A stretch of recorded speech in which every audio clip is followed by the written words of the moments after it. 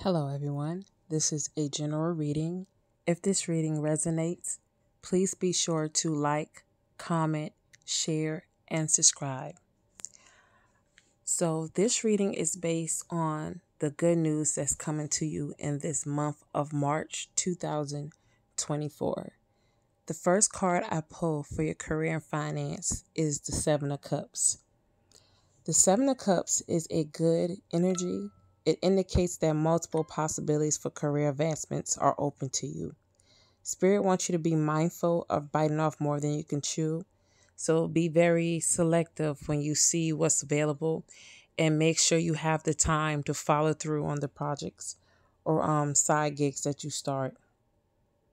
Um, this also, Seven of Cups can represent um, a warning for you not to spend all of your time brainstorming and forget to take practical steps to make your dreams reality. So it's one thing to think of a good idea and want to perfect it, but you do have to take active steps to get the ball rolling. In a financial context, Seven of Cups means you should have lots of opportunity to make money, but you need to be careful before making investments. Um, you should check any investment opportunities out thoroughly and consult a professional financial advisor first, as they might not be as good as a deal as initially appear. So, you know, everything that glitter it it isn't gold and what may work for someone else may not work for you just depending on how much energy um, you're able to give to that. So, like I said, just be very mindful of your time and what really fits you because a lot of people have a different lifestyle than you. So, they can put more energy to make um, perhaps a sales venture go better than you could, or they know more people who would invest. Um, so, for our next card, we have the Knight of Swords. So, with the Knight of Swords, it represents ambition, drive, and, and determination. You know what you want to achieve and you're going for it, you know? So be bold and brave and go after it with full throttle. You know, you're rushing in. It's a knight. so um also with the Knight of Swords, it can represent a big change in your career or arrival or departure of some kind. You may get the promotion you was hoping for or a new job or a change of industry.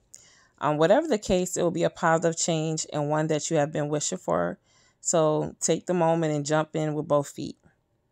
Um, that's pretty much it with the Knight of Swords energy. It's basically telling you go full throttle with this new uh, venture or this career opportunity. Next, we have the Chariot card, and I love the Chariot. It represents movement. So let's say you started a YouTube channel and you wasn't really doing too much but guess what? Go ahead and start back on it because you fit and have some movement. You're going to get new subscribers. It's going to be popping, okay? But you do have to put the work in. Um, but back to the chariot card. That was just a little example because that's kind of like the energy I'm in right now. Thank God. so um, with the chariot card, in a work context, you should be very, you should be feeling very ambitious and motivated. Um, if you if you have been having any issues with work colleagues that you feel may be trying to sabotage you, um, put your worries aside and continue to work hard and keep your self control. Um, if you're a job seeker or have been feeling stuck in a rut with your career, um, now is a good time to go after the job you always wanted. So let's say some of you want to go into management and you never really did um, management professionally. Like, go ahead. Like, you got this. Like, you know how people is. You know how to deal with people. So that's just one example. This won't apply to everyone, but the general is like if there's something you've been wanting to get into and you have that drive, which the chariot card represents that drive and ambition, go ahead and do it because your energy is going to show employers that you are that person, that you can fulfill this job position. Um, you definitely will be beating out competition because this energy is on you very strong. Like you have that determination. Eh, you know, people read energy they may not say it, but we look at someone's personality, their energy when it comes to interview. Like it's not just the appearance, it's your energy as well. So if you come in, they can instantly pick up like, oh wow, like this person is determined. So that gonna make you stand out way further than other people who just think their resume is enough and their dry personality. No. Okay. So people want to see that you're ambitious and that you really want to work there. Um, the chariot card also represents overcome obstacles. So if there's been any financial challenges that has seemed like it just been too much, um, this is a good time to tackle that. And when I say tackle it, mean look for ways to get around it. So definitely look for a high paying job. Cause a lot of us we work in jobs that do not take care of the minimum, you know, so you definitely want to look for other opportunities that are lucrative or perhaps start a business or whatever works for you because everyone sure can't be an entrepreneur because everyone don't have the drive for it. But according with this energy the chariot card you have the drive. Whatever you put your mind to you can definitely achieve it. So the last card that we have is the eight of swords. So with this card as soon as you look at it this person tied up with a blindfold. Um they have the illusion of being trapped but really they could take the blindfold off and wiggle their way out the little band-aids or whatever the end. So with this Eight of Swords, um, a lot of y'all may, due to the past, due to the past, cause like when I saw this energy, I'm like, okay, we got all this fast movement, chariot, options, ambition. Why the Eight of Swords?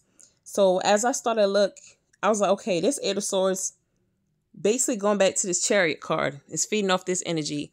So a lot of y'all may have some financial challenges so with this Eight of Sword, it says you currently feel trapped or restricted by your current financial status. But again, this is more to do with your anxiety than the rea- reality of your situation. It says you need to get creative and think outside of the box if you want to make more money. There are ways to get what you want. Don't give in to fear. So, like, I know a lot of stuff is easier said than done. But the reality is, if you're not making enough, even if you got kids and you gotta you don't have a babysitter it's so many work at home jobs. It's so many things you can do um, diy um, make products start a channel. Um, it's just so with the internet it's sky's the limit. If you just get creative you will find a way. And if there's a will there's a way. So even around your neighborhood wherever you live at there's always opportunity to make money Scared money don't make no money, okay? So y'all keep that in mind. You can't be scared to ask someone like, "Oh, do you need your grass cut? Do you need your kids um do you need me to babysit?" You can post ads like there's social media. You can post um ads saying, "Oh, I babysit or I do this or I do hair or I cut grass." And you can start a business from just simple stuff that you don't mind doing. Or even if you like to clean house, you can start in your neighborhood a small cleaning service like there's literally tons of things you can do as long as you're like, you know, up to do it, you know, cuz some of us got health issues or suffer from depression. But let me tell you, this is your season. Scared money don't make no money. You know what I'm saying? You can sleep when you're dead. If you got to get your finances in order, get it in order. Because once you do, you can start living. Until then, you're going to feel trapped. And right now in this month of March 2024, this the energy surround this month for you guys, for everyone who's listening to this reading, this is your time. You will see the movement. But the thing is, you have to get the ball rolling. Okay?